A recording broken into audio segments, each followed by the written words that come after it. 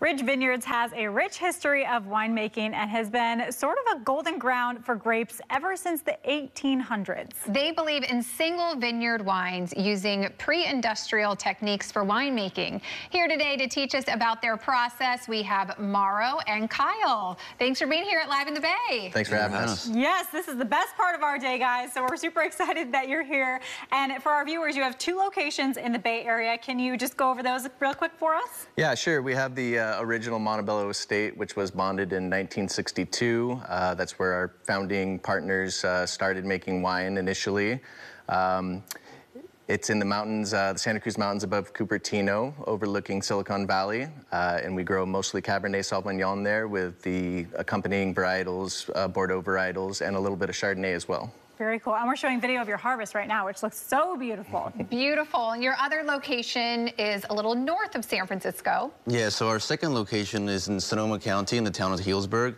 This is our Lytton Springs winery. And here we're focusing more on Zinfandel-based blends. Um, but these are really uh, from blocks that can, you know, date back to the early 1900s, still producing, so well over 100 years old. And we refer to these as field blends really because there's different varieties that are planted together um, that get harvested uh, at the same time and really, um, you know, lead to the, the uniqueness and, and the, the, consistent high quality of these, of these wines. Very cool. And I want to talk about the pre-industrial winemaking technique. What does that even mean? Right. So yeah, winemaking from when winemaking started was was very hands off, and so we we coined the term pre-industrial winemaking because we like to follow those traditional methods, and so we don't use a lot of additives in our wine. We use minimum effective SO2 in our wine uh, just to keep the bad stuff out. Uh, we are 100% organic at both of our estates at Lytton Springs and Montebello, largest organic grower in Sonoma and Santa Cruz Mountains. Um, and so we really focus on this pre-industrial winemaking techniques, uh, low intervention, and think that it is a natural, natural product that requires a natural process. Incredible, yes. And you guys yeah. kind of just wrapped up harvest season, right? You yep. guys brought us some of your grapes here. Yes. Tell me about these right here. So those uh, those are some clusters of Cabernet Sauvignon. Uh, had to scour the vineyards this morning pretty well to find anything left, which is good that Thank not much is left there. Yes. um, but uh, yeah, very tight clusters. Those are actually a little bit of second crop as well, and so you have to leave those in the vineyard because they they don't mature as um, as readily as the first crop does. So ah. it's a little, you know, can be a little tedious sometimes. Okay, cool. Well, we want to get into the tasting. Yes. We've got Absolutely. three delicious wines here. Uh, where should we start, guys? We'll start with the Cabernet, or the, the Chardonnay, I'm sorry. Okay. Uh, this is the 2022 Estate Chardonnay grown at Montebello. Right. Uh, we grow about cheers, 20... Cheers. Wow, It smells so good. it does. We grow about 20 acres of Chardonnay. It's all uh, whole cluster press, so the grapes go right into the press, and then they are barrel fermented, so it doesn't see any tank. Uh, natural primary fermentation and malolactic fermentation on this wine, uh, full malolactic, which provides, you know, a rounder mouthfeel. Uh, we use mostly neutral oak in this wine, so we don't want the oak to really impart too much on it. We want the natural uh, minerality and acidity to show through. And which uh, which property did you say this is grown at? That's from Montebello. Montebello. Okay, Correct. fabulous. Yeah. I so love nice. um, kind of listening to you describe it because as it's on my palate, you're saying, I'm like, ding, like everything you say, yeah. like, there it is, there it is. But this smelled incredible. Yes. And then tasting it, like, just, it, it's, it's, it, I'm speechless. yeah, so how delicious it is.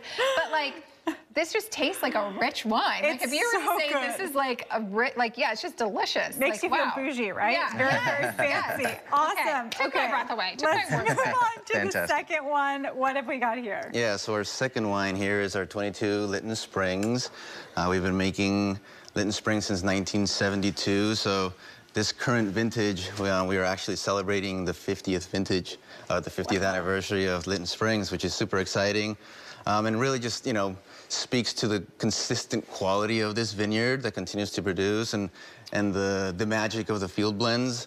Oh. Um, so kind of like I spoke earlier, you have different varieties kind of planted um, together, predominantly Zinfandel, but you've got, you know, around um, 60, 65% Zinfandel, a great chunk of Petite Sirah and Carignan for that uh, structure and acidity, and then a bunch of other complementary varieties, including white varietals that um, kind of when they're coming together and co-fermented, um, you know, really help with with uh, the structure, the aromatics of the final product. And so, um, it's, you know, the 22 vintage was a, a relatively warm vintage for us, um, but it's really, you know, shows in the wine with great concentration.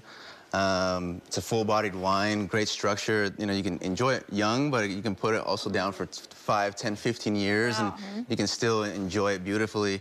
Um, so, yeah. Yeah, even then, I love Hey, one. cheers. Yes, that can be like drink it now, or you can save it for a special occasion. absolutely. We have to move on to That's this one awesome. and make sure we get this in. Sure. Okay. I love a cab. Tell us about this one. So this is the 2000 2021 uh, uh, Cabernet Estate Sauvignon uh, come from the Montebello Vineyard. We make two different Cabernets, one being the Montebello. This is the estate. Uh, and when we're going through harvest, there's always some lots that are a little more approachable, um, a little uh, quicker in maturation.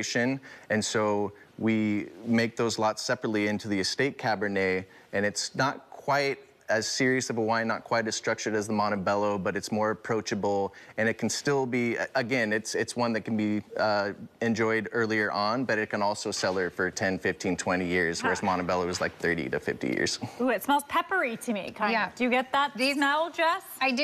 Mm-hmm. These were all delicious. They I were feel like so these can good. go with so many different dishes. Anything. And Or yeah. by itself. Or by itself, yeah. We really try and make them food friendly. Yeah, and I think the biggest takeaway is everyone in the South Bay, you have somewhere to go. You don't have to drive all the way All up the way. to Sonoma, Napa. So, Yes. yeah. Thank you all so, so much for coming. Our pleasure. That was so wonderful. Thank you so much for the taste. Thank you. All right. Thank you.